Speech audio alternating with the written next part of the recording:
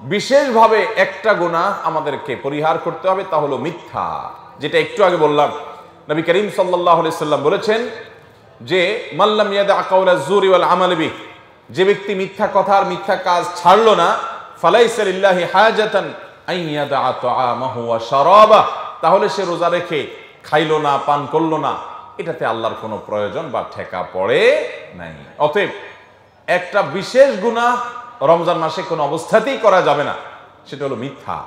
মিথ্যা ছাড়া ট্রেনিং রমজানে আমাদেরকে নিতে হবে। সারা বছর যাতে আমরা সত্যবাদিতার চর্চা করতে পারি। এটা হলো রমজানের স্পেশাল আমল।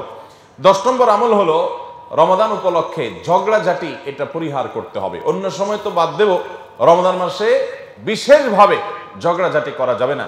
নবী করিম সাল্লা সাল্লাম বলেছেন, কেউ যদি রমজান মাসে রোজা রাখে, কারোর সাথে তার কথা কাটাকাটি তৈরি হয়। কেউ যদি তার সাথে ঝগড়া করা শুরু করে, সে যেন ওই ব্যক্তিকে বলে দেয়, ইন্নি সায়ম। ভাই, তোমার এই ঝগড়ার জবাব আমি দিতে পারি।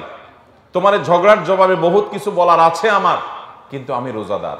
আমি রোজাদার, সেজন্য আমি তোমাকে কিছু বলতে পারলাম না। সেখান থেকে সে সবর করে সরে যাবে। রোজাদার, সে কারোর সাথে ঝগড়া লিপ্ত হবে না।